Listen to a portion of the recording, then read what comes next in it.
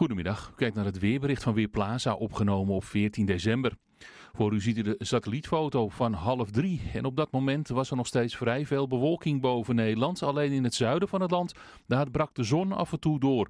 Dat gebeurde eigenlijk vanochtend al. En daar zijn ook de hoogste temperaturen geregistreerd. Het werd daar op sommige plaatsen 11 graden. Maar in het noorden en midden toch vrij veel bewolking. En die bewolking die is vrij hardnekkig. Vanavond komen er wel wat meer opklaringen, maar in die opklaringen kan vannacht weer mist ontstaan. Het weerbeeld is al met al erg rustig en dat hebben we te danken aan een hoge drukgebied boven het oosten van Europa. Maar het hoge drukgebied dat strekt zich eigenlijk helemaal uit richting het westen van Europa naar de Azoren.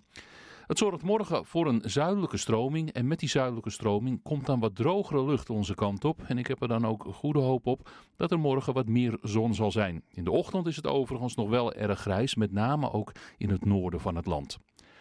Vanavond dus ook wat opklaringen, maar in die opklaringen daar koelt het flink af en dan kan er nevel en mist gaan ontstaan. Vannacht zal dat op uitgebreide schaal gebeuren. In het noorden is ook veel lage bewolking aanwezig. Temperatuur die ligt tussen de 3 en de 5 graden en er zat een zwakke wind uit zuidoostelijke richting. Morgen begint de dag dus grijs, maar in de loop van de dag breekt wel de zon door vanuit het zuiden.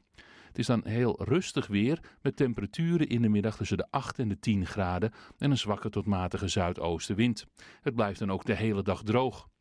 Ook de dagen erna ziet het er heel rustig uit.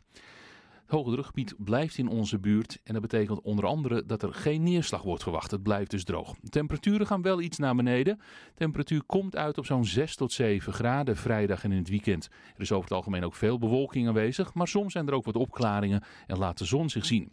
In de nachten wordt het ook wat kouder en vooral in de nacht van vrijdag op zaterdag is het niet uitgesloten dat in het oosten van het land, landinwaarts laat ik het zo noemen, er hier en daar een graadje vorst op de kaart verschijnt. En de dagen erna, ook die zien er nog steeds rustig uit. Want het hoge drukgebied weet eigenlijk van geen wijken. Er verandert dus niet zo heel veel in het weer. Over het algemeen is er veel bewolking. De temperaturen liggen overdag zo rond de 7 graden. S'nachts kan het eens een keer een graadje vriezen. Mijn naam is Raymond Klaassen voor Weerplaza. Ik wens u nog een fijne dag.